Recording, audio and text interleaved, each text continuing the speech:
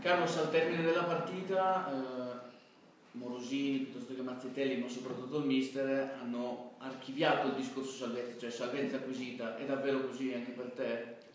Oh, quello è il nostro primo obiettivo, salvezza, però dobbiamo fare meglio fino alla fine. Dobbiamo cercare di vincere tutta la partita. Non vi sentite salvi ancora o sì? Boh, per me no, ancora no. Ancora no? sì, perché c'è ancora partita che dobbiamo fare meglio, dobbiamo vincere. Per me è stato così. Però 56, se 48 è una quota che negli ultimi 4 anni è bastata per salvarsi, io penso che ancora forse un paio di punti per la sicurezza matematica e sono punti da conquistare soprattutto fuori casa, dove il Brescia ultimamente invece non ne ha fatto uno a differenza del Rigamonti dove li ha fatti quasi tutti. Eh, certo, quella, quella sì è vero, però come dice dobbiamo cercare di vincere anche questa ultima partita che, che restano fuori casa, però dobbiamo fare meglio a vincere. Tu pensi che il Brescia faccia delle partite eccezionali contro squadre di alta classifica perché queste squadre lo lasciano, giocano e quindi ci lasciano giocare e facciamo fatica con le piccole perché si chiudono dietro o c'è qualche altro motivo? No, secondo me non c'è nessun motivo, però è tutto uguale. Questo è un campionato un po' strano, ogni partita è una partita difficile, però non esiste la squadra grande, non esiste la piccola, tutte sono uguali. Sei d'accordo con chi dice quando Embalo e Kupic giocano bene sono in forma, il Brescia gioca bene. Quando Embalo e Kupic non sono in giornata, il Brescia gioca male. Sei d'accordo? No, no, non sono d'accordo con questo, perché giochiamo dalla squadra. Se la squadra sta male, giochiamo male, se tutti stanno bene, giochiamo, non, c'è, non c'è Kupic, non c'è Embalo. Però è anche vero che Kupic e Embalo, soprattutto ultimamente, hanno imparato a fare anche tantissimo i difensori e questo ha portato un grande beneficio per la squadra. Eh sì, quella è il nostro, il nostro forza, la nostra arma, aiutare, aiutare in tutte le, in tutte le, come posso dire, le parti. in tutte le parti del campo, in tutte le cose. Quella è la nostra arma. Hai fatto un grandissimo gol, ne hai sbagliato uno un po' più facile prima. Eh, che voto ti daresti fino a questo punto della stagione qui a Brescia? Come? Scusa, non ho capito bene.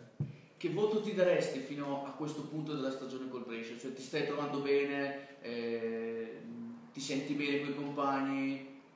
Certo, sì, secondo me sono in un gruppo giusto, capito? Dopo quel gol mi sento che, sono, che ho fatto parte di una squadra, ho fatto parte di un gruppo straordinario, sono molto contento. Quindi questo, volevo arrivare alla domanda dopo, al futuro non ci pensi? Uh, io ancora non sto pensando al futuro, sto pensando a fare bene qui fino alla fine. Il futuro pensa il mio procuratore, la società.